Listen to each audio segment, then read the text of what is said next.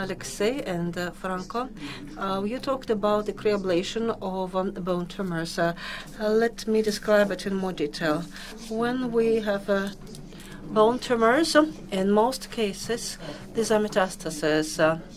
Um, and primary malignant and benign tumors are no more than 4% altogether. The most uh, uh, frequent bone metastases are in uh, breast cancer, prostate cancer, lung cancer, and uh, renal uh, cancer. Most dangerous are the la three latter and the thyroid uh, cancer as well. Bones are the third most uh, frequent uh, target for metastasis after lungs and liver. And if we find them in lungs and liver, we are kind of prepared to expect them in bones uh, as well. Many patients suffer from this pathology. Some, some 280,000 new cases of bone metastasis are diagnosed um, annually. And a lot of uh, money in the US, around $13 billion, are allocated for treatment of patients with this pathology. Which bones are impacted? Um, it doesn't happen evenly. Mainly vertebra, uh, pelvis, and want to remember that some 80% of metastases are outside the spine. And that's when we can uh, help our patients. Uh, if it's a vertebra, it's a very difficult uh, surgery that uh, um, um, uh, makes a person um, handicapped but other locations uh, may be assisted with surgery. Uh, what are the complications? Uh, it's a pathological bone syndrome, uh, uh fractures, compression of um, spinal cord, hypercalcemia, myelosuppression, and the lower quality of life. Um, some three quarters of patients suffer from certain uh, bone complications, uh, disregarding the standard anti-tumor therapy. Uh, what may be the local impact on the um, uh, tumor uh, focus? Um, uh, most frequently, they used they use radiotherapy. However, there are some limitations. the limitation is that we can't do irradiation many times. Um, we cannot do uh, something if uh, these metastases are multiple. Surgical treatment is also very uh, difficult, in a weak patient um, um, handicapped with such a surgery. Uh, my minimum invasive surgical technologies are being used nowadays, um, including cryoablation and uh, focused ultrasound. It's a relatively new technology. It has its pros and cons, um, and it's not widely spread yet. What are the benefits of uh, minimum invasive um, uh, technologies? Uh, uh trauma is minimum, the one caused by surgery. Local anesthesia may be used, uh, less complications, shorter hospitalization, cheaper treatment, and uh, these procedures may be repeated. Um, if it's a secondary uh, lesion of bone, most likely we will not stop the disease. There will be progression, but we should offer something to such um, patients uh, to improve their quality of life and to bring down the pain syndrome. Um, narcotics, analgesics also have their limits nowadays. Thus, these medium invasive procedures uh, are of great assistance. Most frequent methods of ablation, thermal and non-thermal methods, they were already mentioned um, today. Radio frequency, microwave, cryoablation, laser ablation. None. Which one to choose? well, there's a lot of researchers that uh, uh, prove that these are competing methods, but cryoablation has certain benefits. In particular, it brings down the pain syndrome pretty well.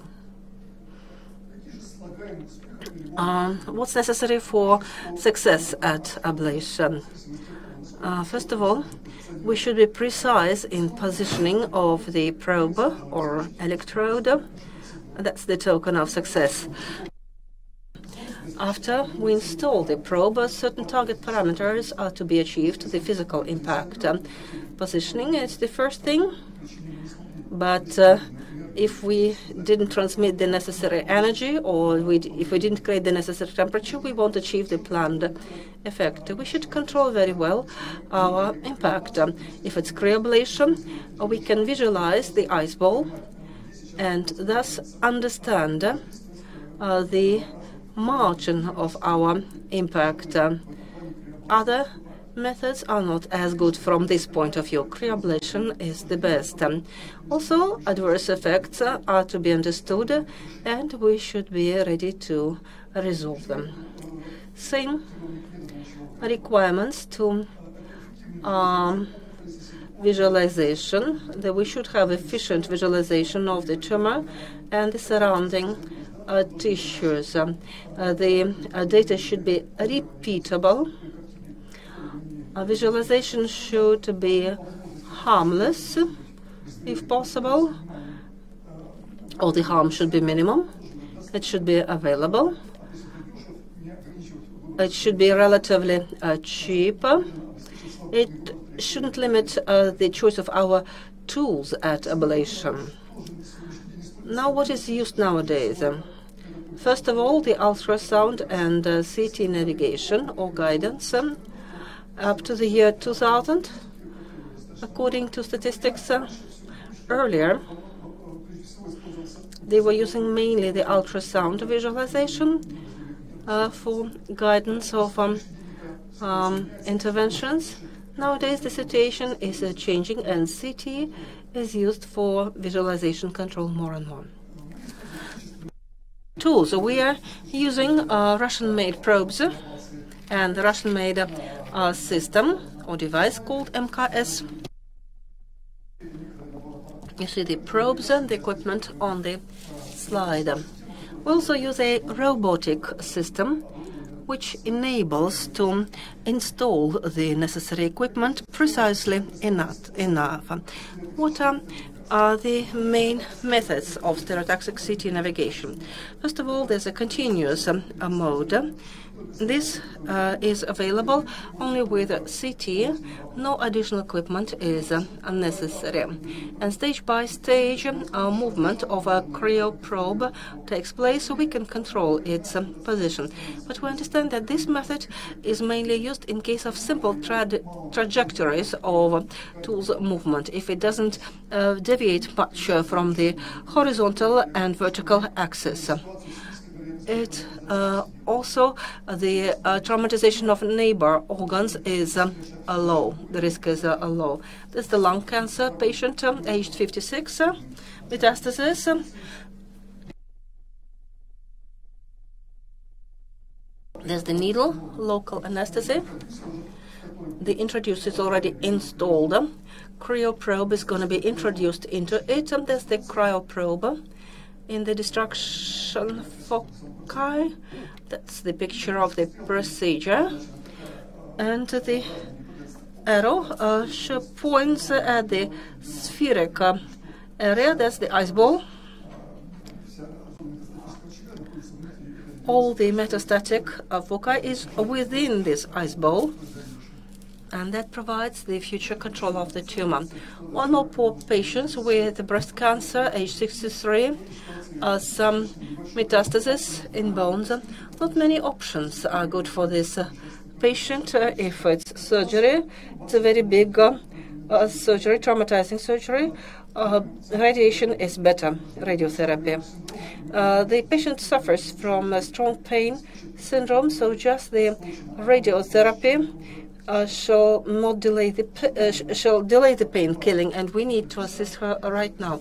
There are two introducers and two cryo uh, probes installed. That's the ice ball that completely covers the necessary area. If you know the anatomy, you can see that this ice ball is very close to the vein However, with no negative consequences, uh, there's no bleeding.